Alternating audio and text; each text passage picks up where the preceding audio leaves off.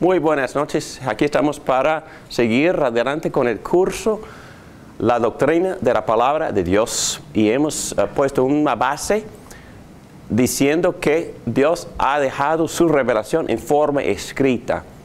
Hemos hablado muchísimo del hecho de que la palabra de Dios, la Biblia, es inspirada o creada por Dios y es perfecta e inerrante. La palabra inspiración uh, tiene que ver con el hecho de Dios creando el producto escrito, la Biblia, de su revelación. Y porque Dios habló, eh, uh, todo el mundo evangélico reformado usa esta palabra inerrante. La clase anterior empezamos una discusión acerca de algunas características más allá uh, que, que, que, fluyen de esta base, autoridad, claridad, necesidad, suficiencia. Muy bien, vamos a orar. Gracias Padre nuestro por darnos una oportunidad más de estudiar a tu preciosa palabra, la cual es oro, la revelación tuya en forma escrita, creada por tu Espíritu Santo, para que pudiéramos conocerte y para que pudiéramos sujetarnos a tu autoridad, conociendo tu voluntad. Guíame a mí a enseñar correctamente bien, bíblicamente, este material para el beneficio de estos alumnos y para el beneficio de tu pueblo, la iglesia. En el nombre de Cristo Jesús te lo pedimos todo esto. Bueno, la, semana pasada tocamos ese tema de la autoridad. Y autoridad quiere decir que, que en general, cuando leemos la Biblia,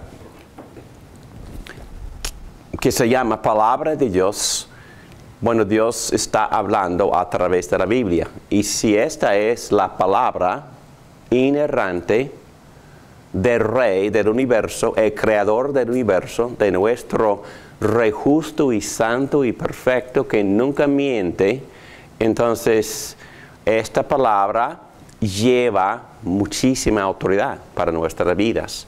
Por supuesto que sí, para poder entender esta autoridad nosotros tenemos que ser iluminados por el Espíritu Santo para poder entender correctamente lo que Dios nos está diciendo a través de su palabra. Pero cuando entendemos lo que es esta interpretación normativa, recuerdan que hablamos de autoridad histórica y autoridad normativa, algunas de las leyes de la Biblia eran para una era nada más, tal como todas las leyes ceremoniales uh, que Dios le dio a su pueblo a través de Israel. No tenemos que obedecer esas leyes. Es más, si empezamos a obedecer esas leyes dándoles un significado religioso, nos equivocamos. ¿Por qué? ¿Por qué?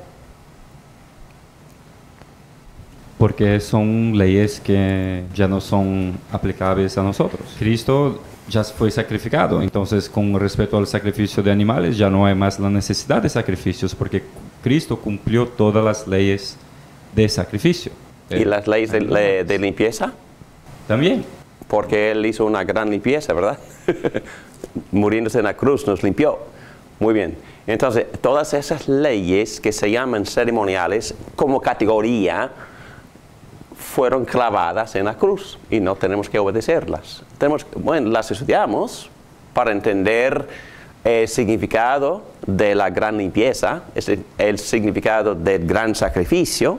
Sí, estudiamos eh, esas leyes y esas ceremonias del Antiguo Testamento para poder entender mejor las profundas riquezas del Evangelio pero para obedecerlas hoy en día no. Muy bien, ah, vamos a empezar en la página, en, las notas, en la página número 103. Aquí dice resumen, y este resumen no es del curso, del curso completo, este, este resumen tiene que ver con la característica autoridad. ¿Ok? Resumen, y voy a empezar a poner en práctica, sugerir algunas aplicaciones de esta característica autoridad. Aquí dice, todas las palabras de las escrituras son palabras de Dios, todas. La enseñanza de Moisés, también las enseñanzas éticas del apóstol Pablo, las aplicaciones que Pablo menciona en, las, en los capítulos finales de cada carta. Esas aplicaciones son normativas para la iglesia.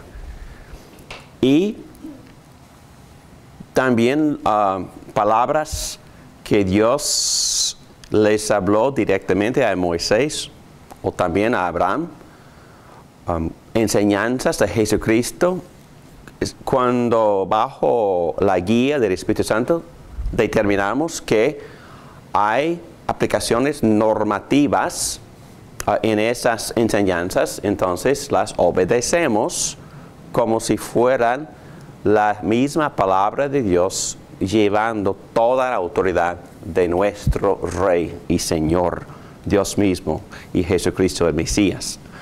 Además, todas las palabras de la escritura revelan a Cristo, quien es la representación exacta de Dios. Sería un gran error ir en contra de esa revelación o cuando, cuando las escrituras nos revelan a Cristo mismo, nosotros no tenemos la opción de dibujar otra figura o de imaginarnos que Cristo sea de otra manera. No, tenemos que obedecer esa imagen, la imagen que se revela en la Biblia y a través de la Biblia, porque la Biblia nos revela a Jesucristo y nos sujetamos a ese Cristo y no hay otro Cristo. No hay un Cristo de nuestras imaginaciones o de nuestras invenciones. Y como hacen muchas personas, tomando un solo atributo de Cristo, tal como el amor. Mi Cristo es puro amor, mi Cristo no juzga. No, es que entonces tienes otro Cristo, porque Cristo se juzga. Entonces no, no se puede crear a tu propio Cristo. Tenemos que sujetarnos a la revelación que lleva autoridad cuando discernimos por el Espíritu Santo que esta es la revelación de Cristo y esta es la ley de Cristo y esto es lo que tenemos que obedecer porque la palabra de Dios lleva la misma autoridad que Dios tiene. Tenemos que sujetarnos, tenemos que obedecer. Por supuesto que sí, la iluminación del Espíritu Santo es necesaria para interpretar la Biblia, para que la Biblia hable autoritativamente. Y también tenemos que obedecer el Evangelio. Y, y hay muchas personas se confunden cuando la Biblia, y Pedro en especial, Pedro, el apóstol Pedro, usa mucho esa frase. Dice que tenemos que obedecer el Evangelio o tenemos que obedecer la fe. Pero cuando Pedro dice esto, ¿a qué se refiere? A las escrituras. A las escrituras, pero ¿qué, qué, se implica obedecer el Evangelio? ¿Cómo obedecemos el Evangelio? ¿Qué es lo que el Evangelio me exija? Creer en Jesucristo. Creer en Jesucristo. Entonces, ¿es opcional? No, tienes que obedecer el Evangelio. Cuando Ah, todo el mundo tiene que obedecer el Evangelio. Es un mandato, obedezcan el Evangelio. Es, es una oferta, pero también es un mandato. Entonces Dios se ha revelado en el Evangelio y Dios se ha revelado su gracia, su misericordia. Dios ha revelado la cruz de Cristo para nuestra salvación en el Evangelio y tienes que obedecerlo. ¿Por qué? ¿Y cómo? Por creer en Cristo. Cree en Cristo, Pedro. Cree. Entonces, hay que creer. Porque Dios quiere y Dios en, en verdad nos exige que creamos en Cristo Jesús. Muy bien, el Espíritu Santo usa la razón, entonces pensamos, y la Biblia misma dice que tenemos que adorar a Dios con toda la mente. La Biblia misma dice que tenemos que uh, experimentar la transformación por medio de la renovación de la mente. también otro texto dice que tenemos que tratar de ver todos nuestros pensamientos cautivados por Cristo. Entonces, nuestra fe sí toca la mente, toca el intelecto. Entonces, el Espíritu Santo usa el intelecto. Por eso esas clases. Por eso estudiamos. Por eso la revelación en forma escrita. Por eso estudiamos la gramática, la historia. Eh, también estudiamos la, literatura, estudiamos la filosofía, estudiamos esas cosas porque, porque, el Espíritu Santo sí usa todo esto para ayudarnos a interpretar bien esta forma, esta revelación. Dios, me imagino que Dios pudiera haber revelado, se pudiera haber revelado de otra manera, pero Él eligió revelarse en forma permanente a través de un libro. Y por eso tenemos que adquirir, vale la pena adquirir los instrumentos y las habilidades necesarios para poder leer, entender e interpretar bien la Biblia. Y, y esta este fenómeno de enseñarles a los niños a leer, ¿de dónde vino? Es que cuando los misioneros empezaron a ir a todas partes del mundo predicando el Evangelio hasta todas las tribus de la selva, donde nunca habían tenido en forma escrita su idioma, la primera cosa que hicieron los misioneros fue hacer traducciones en idioma Crear en forma escrita su idioma. Reducir a una forma escrita. Su, entonces, este, esta sociedad que se llama Wycliffe Bible Translators, traductores de la Biblia, se llama Wycliffe, que van a toda la parte del mundo traduciendo, primero que nada, reducen los idiomas a forma escrita. ¿Por qué?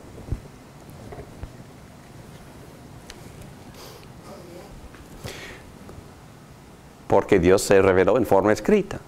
Y los misioneros quieren que ese pueblo conozca a Dios. Y la, y la segunda cosa que hacen es, ellos traducen la Biblia a, ese, a ese idioma. La tercera cosa que hacen es, les enseña a todo el mundo a leer. Entonces, eh, poder leer es un fenómeno universal, pero sumamente cristiano. ¿Me entienden? Es que, no, es que ese concepto no vino del aire, tampoco no, no, existió en muchas culturas, pero cuando fueron los cristianos y todo el mundo empezó a reverenciar esta, este vehículo de comunicación en forma escrita. Entonces, el Espíritu Santo usa todo esto. Les he enseñado a muchas personas y ellos han formado la ciencia de interpretación que se llama hermenéutica y han usado los mejores métodos clásicos para poder interpretar correctamente bien la Biblia. Y todo esto es de sentido común o es, ah, son conocimientos comunes pero no debemos de tomar ligeramente todo esto, porque el Espíritu Santo, en un sentido, estableció todo esto para que el mundo pudiera interpretar correctamente bien la revelación de Dios que Él nos dejó en forma escrita. Entonces, escribir, ah, ah, aprender a leer um, y estudiar, libros, etcétera, etcétera, es, un fenómeno muy cristiano. Y la, la, lo más que el cristianismo influye en una sociedad, o por lo menos esta expresión del cristianismo, la sociedad en general tiende a ser más educado, más educada. El nivel de educación sube por el cristianismo, porque el objetivo es que todo el mundo aprenda a leer, estudiar, interpretar bien y conocer a Dios a través de esta revelación en forma escrita. Por eso digo, resistirse a la autoridad de las escrituras, ignorándolas o negándose a obedecerlas, poniendo razón o sabiduría humana sobre ellas, es resistir y desafiar a Dios mismo. Si yo digo o diría, bueno, la historia me enseña otra cosa, la filosofía, la psicología me enseña otra cosa, mi, propio razonamiento me, sugiere otra cosa, estoy, eh, soy rebelde, estoy, eh, no estoy resistiendo um, una cosa ligera, estoy resistiendo a Dios mismo, estoy diciendo en voz alta, soy más inteligente que Dios mismo. Y si yo dependo de mis impresiones, de mis emociones o de, otras fuentes de conocimientos, y si los pongo en un nivel más alto y, eh, y trato de adquirir un- una cosmología de, ellos, también estoy resistiendo al Espíritu Santo, estoy ah, resistiendo a Dios mismo. Y este punto final, las escrituras son verdaderas, las palabras de Dios son el estándar máximo de la verdad. Las palabras de Dios escritas son la autoridad final, no un concilio, ni la iglesia, ni el pastor, ni ningún erudito. Entonces, si quisiéramos conocer la verdad de Dios y también si quisiéramos ah, conocer la verdad del mundo o del universo, yo sé que existen varias ciencias, no, no me, no me refiero a eso, pero si, si nosotros quisiéramos formar una cosmología o una perspectiva del mundo, de Dios, del hombre, de cómo Dios y el hombre se re- relacionan y cómo vivir en este mundo y cómo comprender este mundo, entender el propósito de mi vida, el propósito de, de este mundo, de este universo. Entonces yo busco estas verdades en la palabra escrita como el estándar máximo de la verdad. ¿Ok? ¿Comentarios, preguntas? Entonces, estoy estableciendo, si, si- si vamos a aceptar que la, que la palabra es inspirada, estoy diciendo que Dios mismo creó la Biblia. Y si Dios está hablando a través de la Biblia, no está mintiendo, está hablando la verdad. Entonces, si, si me está revelando su voluntad en la Biblia, ¿cuál es la aplicación para mi vida? ¿Cuál es la aplicación si yo, si nosotros establecemos como característica la autoridad de la Biblia? ¿Cuál es la aplicación? Obedecerla. Obedecerla. No obedecerla es resistir al Espíritu Santo y des- desobedecer a Dios mismo. Ok. Ok, ahora vamos a hablar más específicamente. Cuando yo leo la Biblia, ¿qué es lo que tengo que obedecer?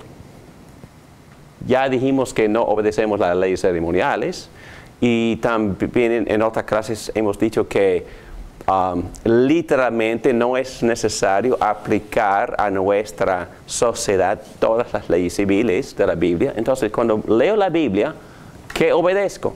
Lo normativo. Exactamente, lo normativo. Y en general, ¿cuál es lo normativo en la Biblia? En general, Los diez mandamientos. los diez mandamientos. Y los diez mandamientos en verdad cubren toda la vida. Toda la vida. Y, por ejemplo, si Jesús enseña en el Sermón de Monte que los hombres son prohibidos vivir cultivando una codicia, sexualmente hablando, ¿cuál de los diez estamos desobedeciendo? ¿Ah? Avaricia. Sí, pero ¿cuál de los diez mandamientos estamos desobedeciendo? No codicia. Bueno, la- sí, exacto. El décimo. ¿Qué otro? El primero. El primero, idolatría. ¿Qué otro? El séptimo, ¿verdad? No cometerás adulterio. Cristo dice que adulterio, asesinato, envidia, pues es actitud. Robo, todos los mandamientos esos empiezan dónde? En el corazón. Entonces, y cuando yo leo Pablo, Pablo, cuando leo Pablo, primero que nada, las, las cartas de Pablo no llevan la misma autoridad que el Sermón de Monte, ¿verdad? La misma autoridad. ¿Y, y por qué? Tienen la misma autoridad puesto de que fueron inspirados por Dios. Ok, inspirado por Dios. Jesús dijo que él escuchó lo que el Padre dijo y él habló lo que él escuchó del Padre. Pero Pablo también. Pablo dice que el Evangelio suyo lo había recibido directamente de Dios. Jesucristo. Él dijo de Jesucristo. Él, él dijo ni de Pedro, ni de Santiago, de Jesucristo. Yo recibí este evangelio que yo predico, que yo enseño, del cual yo escribo. Yo recibí este evangelio directamente de Jesucristo. Y- Entonces, su- sus, sus enseñanzas, cuando él describe la persona de Jesucristo, cuando habla de muchísima teología de Jesucristo, y cuando él perfecciona en detalle la estructura de las buenas nuevas de mi salvación, yo tengo que sujetarme a ese evangelio porque es palabra de Dios y lleva toda la autoridad de Dios mismo. También eh, avaló las escrituras cuando habló de Moisés, escribió esto. Está diciendo que esa es palabra de Dios. Entonces, exactamente. Y Jesús en Mateo 19, cuando él habló del matrimonio, él no dijo Moisés dijo, él dijo Dios dijo. y Dios había dado a Moisés el diseño para el matrimonio. Entonces tenemos que obedecer ese diseño y no hay otro. Y hoy en día, no estoy bromeando ni exagerando, hay un montón de diseños. ¿Me entienden? que la cultura está imponiendo montón. Sí estoy hablando de homosexualidad, pero estoy hablando de muchísimas cosas más. Entonces hay muchísimos diseños para el uso del sexo en nuestra cultura. Unión libre, homosexualidad, lo que sea, libertad en pornografía, libertad con prostitutas, um, cambiar mi propio género, tengo libertad de hacer lo que quiera con mi sexo, ¿verdad? ¿Verdad?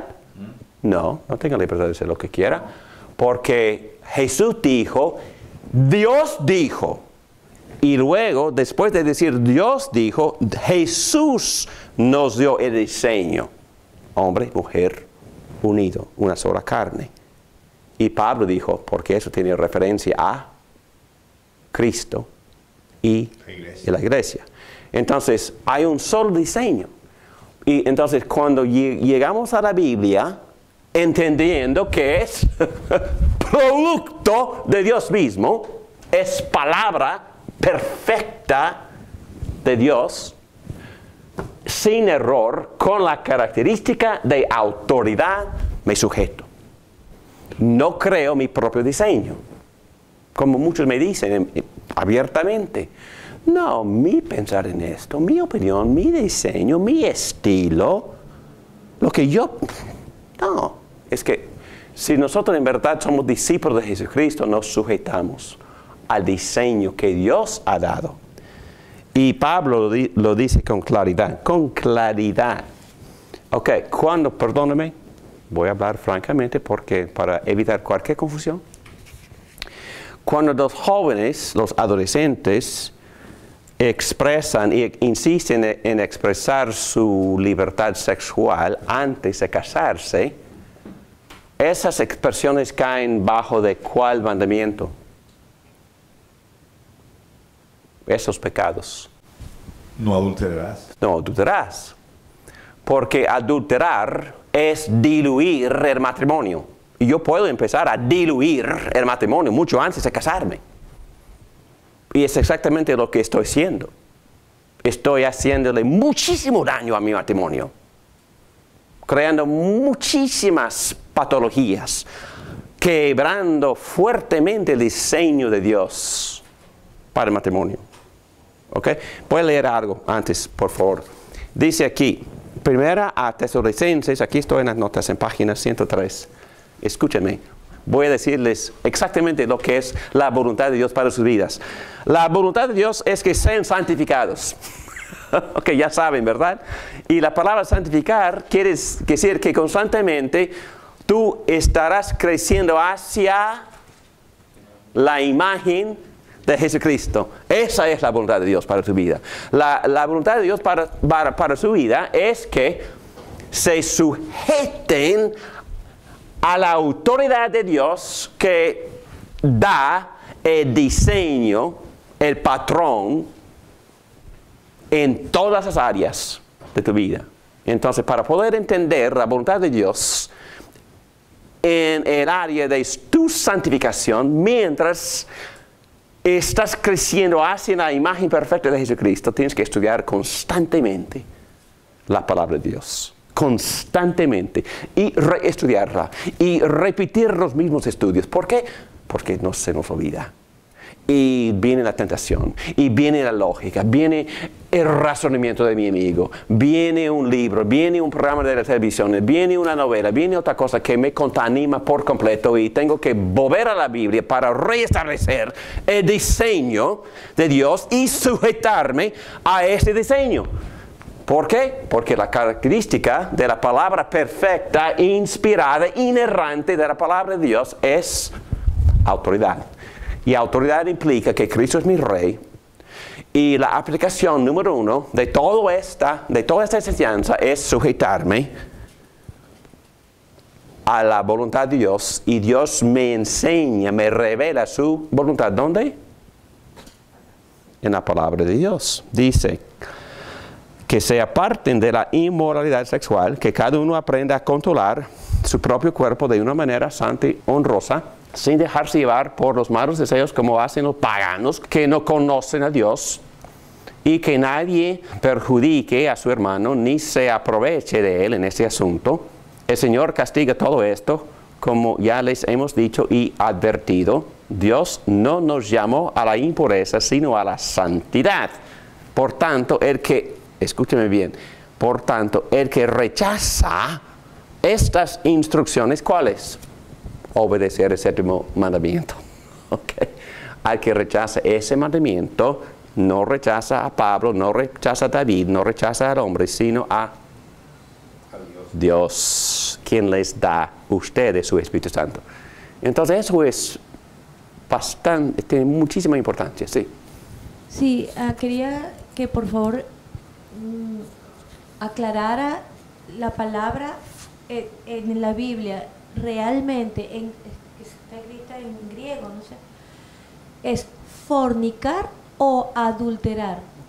Porque hay un libro que dice que, dice, cuando quiere explicar esa, esa, ese mandamiento, habla de adulterar y que se refiere no solamente a la parte sexual, que no es, que no se refiere exclusivamente a la parte sexual, sino que se refiere, por ejemplo, a cualquier documento eh, legal y si lo adulteras, pues estás cambiando y estás haciendo algo ilegal. Entonces, en, realmente el, en la palabra que, o Dios, ¿qué fue lo que quiso decir? Exclusivamente en la parte sexual, o sea que realmente habló de fornicar o la palabra es adulterar, o sea, no, ¿cuál, cuál, ¿de qué se trata los el séptimo mandamiento? Okay. Ok, por eso eh, empezamos ahí, exactamente. Los diez mandamientos dan un resumen de diez categorías de obediencia. El séptimo mandamiento, como categoría, nos da instrucciones para la familia en general, para los, para los matrimonios y también para los que están considerando casarse. Y la palabra adulterar quiere decir diluir o ser infiel, es decir, contaminar o violar un contrato por incluir a otros partidos en este contrato. ¿Me entienden?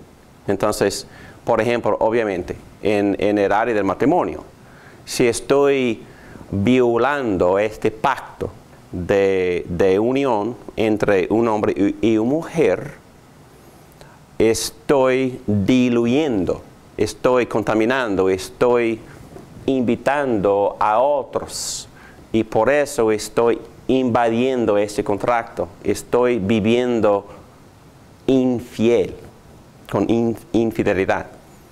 Y la Biblia usa esta palabra adulterar para violar el contrato, o el pacto, mejor dicho, el pacto de las relaciones más íntimas, principalmente la la relación del hombre con Dios. Se expresa también con la palabra pacto. Y si violamos este pacto por incluir a otros en esta relación santa y exclusiva entre mí y Dios, estoy adulterando, estoy cometiendo, cometiendo adulterio. ¿Pero contra quién? Contra Dios. Por ejemplo, si estoy ah, obsesionando sobre lo material, sobre deporte, sobre cualquier cosa, si estoy estableciendo otra prioridad en mi vida que va más allá de mi amor y mi compromiso a Dios, estoy cometiendo adulterio, adulterio y idolatría, la misma cosa. Por eso Pablo une idolatría y codicia, porque es una violación de pacto empezando con el corazón. No sé si estoy contestando la pregunta. Porque la confusión a, a veces existe entre algunas personas dicen, bueno, ah, cometer, cometer adulterio es una cosa, es para los matrimonios. Pero si no me caso, libre. Pero no es lo que está diciendo Pablo. Pablo usa la palabra pornea. La palabra pornea, bíblicamente y también en la literatura clásica, cubre cualquier violación de, este diseño. ¿Me entiendes? Este- el diseño dice que el sexo es para el matrimonio, entre hombre y mujer. Pero si vamos más allá, antes del matrimonio, después de divorciarme o en otra forma, otro estilo, estoy violando este diseño y estoy cometiendo pornea, pero a la vez adulterio. Pastor, es que si yo estoy soltero y empiezo a tener relaciones con eh, eh, mujeres antes de casarme, yo estoy adulterando, estoy siendo infiel a la que me voy a casar. Exacto. Eh, Estoy solo, solo estoy estableciendo un punto sencillo y para mí es un punto bien, bien, bien sencillo. Ah, si una persona me dice, no, no, yo puedo hacer lo que quiera con mi cuerpo y esa persona se llama cristiano, esa, pers- esa persona está resistiendo a Dios. a Dios mismo. Está desobedeciendo su palabra, que es la autoridad de Dios para su vida. Esa persona no tiene la, la libertad de cambiar el diseño de Dios. Y está resistiendo, como Pablo dice en este texto, a Dios quien les da el Espíritu Santo. Y voy a dar otra aplicación. Y bueno, primero que nada, ¿es una enseñanza normativa? Sí. ¿Y cómo, e- cómo es que yo sé que es normativa esta enseñanza? Por los diez mandamientos. Por los diez mandamientos y también... ¿Cómo? Jesús repitió esa enseñanza. Jesús repitió la enseñanza también. y los apóstoles también repitieron eh, sin cambiar nada. Y por eso esta moral se expresa con consistencia desde Génesis hasta Apocalipsis. Y esta moral se establece ah, estableciendo el matrimonio como el diseño de Dios para el uso del sexo, pero también este, ah, esta relación humana, este pacto humano, también en todos los libros de la Biblia es una ilustración del pacto supremo entre Dios y el hombre. ¿Me entienden?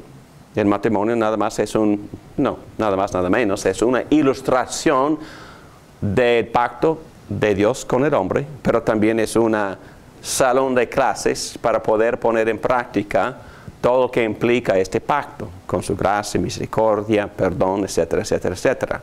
Entonces, este, el matrimonio es un gran salón de clase para manifestar el Evangelio, pero también para aprender a poner en práctica todo lo que se implica por el Evangelio, perdonar, eh, amar, sacrificarse por otro.